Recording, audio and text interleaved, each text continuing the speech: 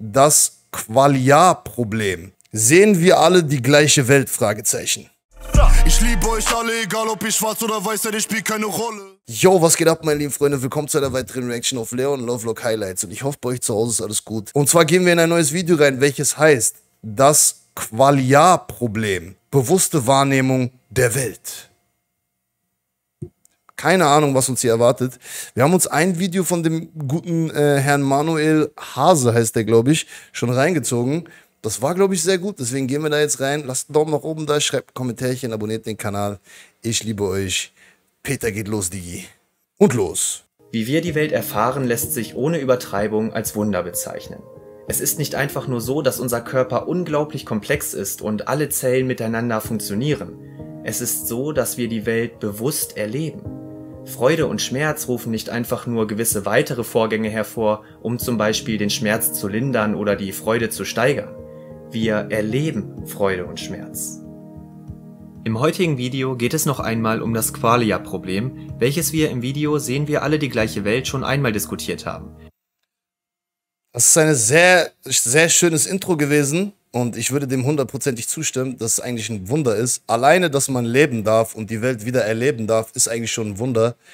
Und das sollte einen eigentlich schon eine grundsätzliche Zufriedenheit und Glücklichkeit geben und ja, uns da, uns, uns zum Strahlen bringen. Weißt du? Leider leben wir in einer Welt, wo, wo uns gesagt wird, dass wir immer Dinge brauchen. Du musst das, du musst arbeiten, du musst Geld verdienen, du musst dieses Auto haben, du musst so eine Frau haben, du musst das, dann bist du erst glücklich. Dann darfst du erst happy sein. Dann darfst du erst zufrieden sein. Aber eigentlich haben wir schon so viele Dinge, einfach wenn wir nur aufwachen wieder. Ne? Das ist crazy. Meine Frage in den Chat wäre jetzt: Sehen wir alle die gleiche Welt? Fragezeichen. Erzähl mal. Eins in den Chat, wenn du denkst, dass wir alle die gleiche Welt sehen. Zwei in den Chat, wenn du denkst, dass wir alle eine andere Welt sehen. Dabei beziehe ich auch eure Kommentare mit ein und möchte das Problem noch einmal verständlicher machen. Übrigens lese ich immer noch alle Kommentare und möchte mich unbedingt nochmal für die unglaublich lieben Worte bedanken, die ich so oft von euch erhalte. Das ist wirklich eine starke Motivation, die Arbeit hier fortzusetzen. Spannend zu sehen war, dass Süß, es viele unter euch gab, die sich bereits intensiv Gedanken darüber gemacht haben, aber irgendwie davon ausgingen, dass sie die einzigen sind, die solche Überlegungen anstellen. Es ist aber ein ganz klassisches philosophisches Problem in der Philosophie des Geistes, welches viele bereits beschäftigt hat. Ihr seid damit also nicht allein. Es hat mich sehr gefreut, eure Worte dazu zu lesen. Viele haben zwei reingeknallt. Ich küsse euer Herz. Zu sehen, wie früh sich Ich würde auch sagen zwei. einige schon solche Gedanken gemacht haben. Zum Beispiel Juli, die schon in der Grundschule mit ihrer Freundin darüber diskutiert hat. Oder Lomio Aber ich muss dazu sagen, dass ich glaube, dass es möglich wäre, dass wir alle die gleiche Welt sehen. Da, davon müssten wir, da müssten wir halt uns von unseren Programmen befreien und versuchen, nur noch den göttlichen Kern zu leben quasi. Also dass Gott extrem krass durch uns wirkt und wir uns quasi von uns selbst, also dass wir uns so frei machen von unseren Gedanken, Problemen etc. pp, dass nur noch Gott durch uns wirkt und dann sehen wir eigentlich alle das Gleiche, dann sind wir auch alle das Gleiche, dann hängt alles miteinander zusammen und dann ist alles eigentlich gleich. So. Dann gibt es keine Trennung, Digga, dann ist alles eins, vollkommen. Vollkommenheit, weißt du? Ich glaube schon, dass es möglich ist, aber äh, durch die Erfahrungen, die wir gemacht haben und durch die krasse Identifikation mit unserem Ich, äh, ist es so, dass wir alle eine unterschiedliche Welt sehen. die sogar schon mit etwa vier Jahren ihre Oma danach gefragt hat, dort nur leider auf wenig Verständnis gestoßen ist. Denn einfach ist es ja auch nicht zu verstehen, was eigentlich der Unterschied zwischen den Gehirnprozessen und dem Erleben ist. Und auch Veri gehörte dazu. Ich weiß, dass ich mir als Kind bzw. Jugendlicher oft die Frage gestellt habe, ob andere Menschen dasselbe erleben und sehen wie ich. Zum letzten Teil des Kommentars kann ich euch empfehlen, wie im letzten Video auch erwähnt, mal auf meinem Instagram-Profil vorbeizuschauen. Dort gibt es jetzt jeden Dienstag eine neue 30 Sekunden Buchkritik in meiner Story. Das Feedback dazu ist bisher grandios, also schaut da doch gerne mal rein. In dieser Woche habe ich dort eines meiner Lieblingsbücher vorgestellt und ihr könnt es euch auch jetzt noch in meinen Instagram Highlights angucken. Das bewusste Erleben der Welt ist zwar eine alltägliche Erfahrung von uns allen, aber gedanklich zu erfassen, was Erleben und Bewusstsein eigentlich bedeutet, ist nicht unbedingt jedem zugänglich. Das fiel in den Kommentaren unter meinem Video natürlich auch auf. Es geht dabei nicht um die physiologischen Prozesse im Gehirn, das möchte ich nochmal ganz deutlich machen. Viele Kommentare gingen in die Richtung, wie es auch Tobias hier schildert. Wenn ich rot sehe, kannst Gott nicht, du kannst Gott nicht denken. Du kannst das Hier und Jetzt nicht denken. Du kannst es nur erfahren. Weißt du, wie ich meine? Das Problem ist, dass wir versuchen, alles mit unserem Verstand zu erklären. Aber du musst es nicht erklären können. Das Hier und Jetzt musst du nicht erklären können. Du musst es mit deinem Gehirn nicht verstehen. Du musst es erleben. Du musst es leben. Das Leben lässt sich auch nicht denken. Das Leben lässt sich nur leben. Das muss den Leuten mal bewusst werden. So, das Leben lässt sich nicht denken. Du kannst das Leben nur richtig erleben, wenn du nicht denkst. bestimmte Areale in meinem Gehirn auf bestimmte Stärke beansprucht. Man kann meines Wissens nach Gehirnströme messbar machen. Wenn ich also zwei Personen dasselbe Objekt zeige und deren Gehirnaktivität messe, kann ich doch sichtbar machen, ob deren Gehirn auf dieselbe Stärke beansprucht wird. Wenn es das tut, weiß ich, dass beide Personen dieselben Lichtwellen gleich verarbeiten und kann somit sagen, beide sehen dasselbe, in diesem Fall rot. Es ist natürlich etwas vereinfacht ausgedrückt, aber es wird ganz klar, was er meint. Bestimmtes Licht fällt in unser Auge, Hirnareale werden aktiviert und dieser Vorgang wird gemessen. Aufgrund des gleichen Grundaufbaus unserer Gehirne wird es auch ähnlich auf verschiedene Reize reagieren. Und was das angeht, ist die das Ding, das, das, das, das Ding bei diesem Experiment, würde ich jetzt behaupten, ist, dass wir das anders interpretieren. Vielleicht sehen wir das Gleiche, vielleicht ähm, ähm, haben wir vielleicht die gleichen Gehirnaktivitäten, aber was daraus folgt, wird immer unterschiedlich sein, weil wir anders groß geworden sind und anders anders programmiert sind, so dass wir ähm, ja, dass wir quasi dann andere Schlussfolgerungen oder dass es vielleicht andere Emotionen bei uns auslöst, beziehungsweise dass wir andere Erfahrungen mit der Farbe verbinden. So.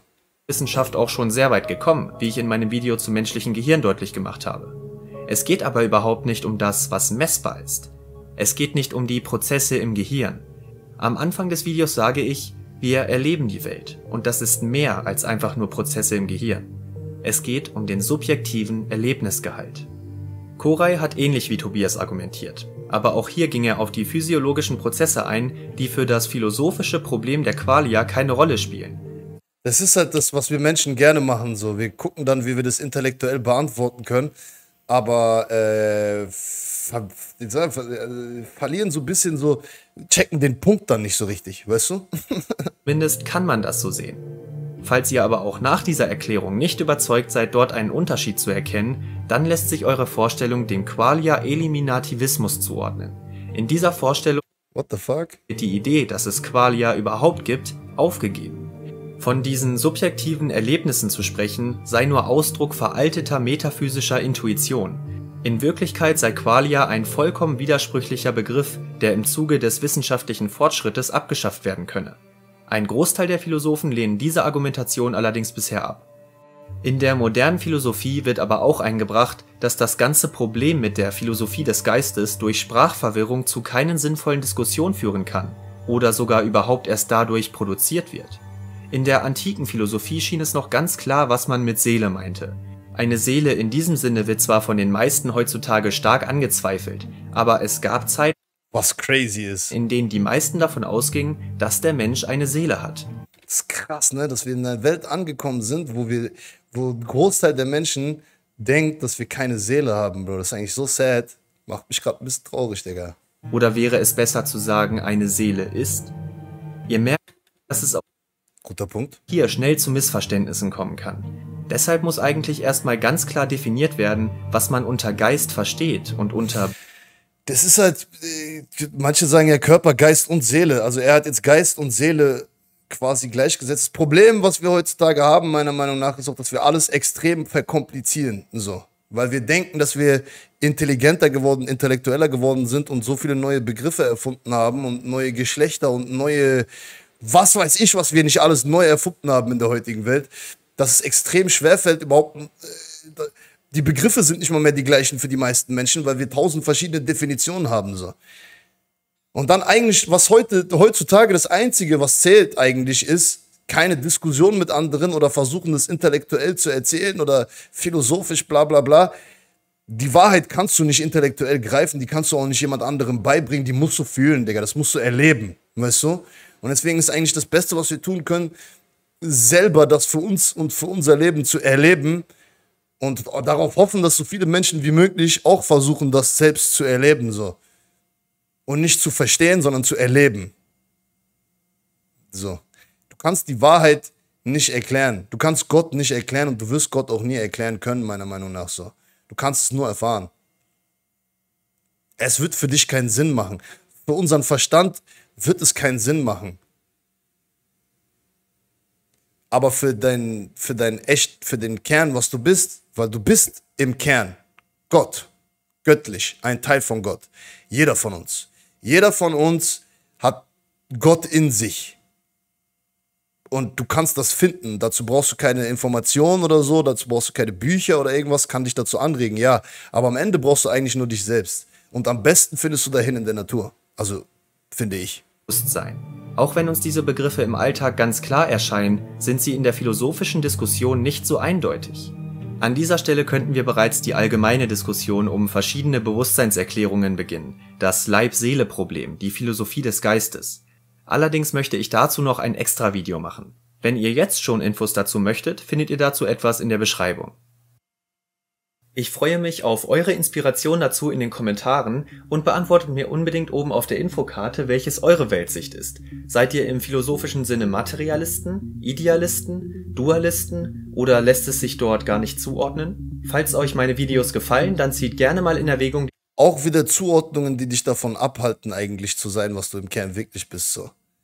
Alles, diese ganzen Sachen, ich bin das, ich bin dies, ich bin so, ich bin so. Am Ende bist du im Kern göttlich. Das ist das Einzige, was du finden musst. Das ist das Einzige, was zählt. Alles andere sind irgendwelche Definitionen, die wieder aus dem Verstand kommen. Wieder irgendwelche Identifikationen, wo du dann denkst, oh, ich bin das und so. Da bist du wieder, das ist wieder, du, du versuchst wieder jemand zu sein, der du eigentlich nicht bist. So. Kanal zum Beispiel über Patreon zu unterstützen, denn das soll auf Dauer die Arbeit hier finanzieren.